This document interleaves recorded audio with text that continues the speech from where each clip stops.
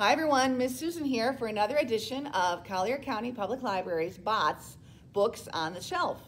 Today's book that I'm going to tell you about is called Fearbook Club. It's a graphic novel written by Richard Ashley Hamilton and illustrated by Marco Matrone. We received this book in January, so it's fairly new. This would be a great book to recommend to a reluctant reader either in middle school or high school the book is less than 100 pages long. It is a graphic novel, so it's an easy thing to read for people. It's not too intimidating of a book to read. Uh, the story happens, I'll show you the inside of the book. It's a little bit dark. We have someone who is new to school and they call him a nuke. He's a new kid at the school. He decides he's going to start with photography and be part of the yearbook club. And when he make, takes pictures, he sees there are some ghosts in the back of the pictures. So basically the theme of this book is what do you do when you are afraid of something? What do you do with your fears and how do you overcome them? And at the end of the book, I'm really impressed. There is an interview, a letter to teens from the author, and then there's also a question and an answer from the illustrator. So this is what the author says. He has, he calls it the letter to the weirdo club.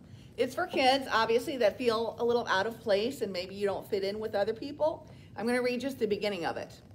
He says, hey, hey you, the weirdo reading this comic. I mean this graphic novel. Sorry, I'm not used to calling them that as I'm quite old.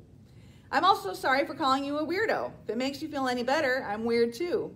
Only I think that's actually a good thing a badge of pride, celebrating how we're different, distinct, you know, special.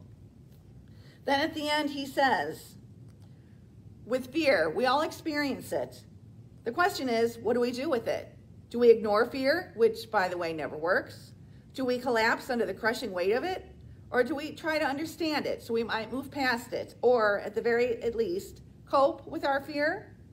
And he says at the end, the point is, no fear is too great when you face it with friends. So it's a very good article from the author telling you what he thinks about being different and being afraid of things. Then at the back of the book, there's an interview with Marco Matrone, who is the illustrator, kind of some question and answers.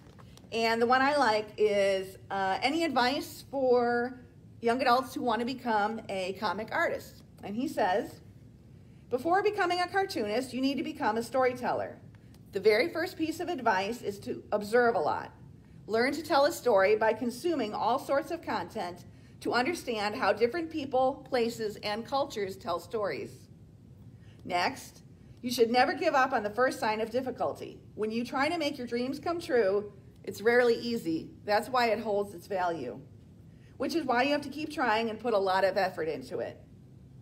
The last piece of advice is perhaps the most important. Be humble. To fulfill your potential, you need to accept and understand criticism. This is the one way you can really grow, or otherwise you remain stuck. So again, I'm recommending this book today. It's not the kind of book that I would pick up myself, but I'm trying to expand my horizons. And again, if you have a reluctant reader, you're looking for a quick read, uh, a little bit dark, but also has a good message about how to overcome your fear when you feel different or you're a new person in a new place. So again, that's Fearbook Club, written by Rich Richard Ashley Hamilton, illustrated by Marco Matrone. We'll see you next time on BOTS. Bye.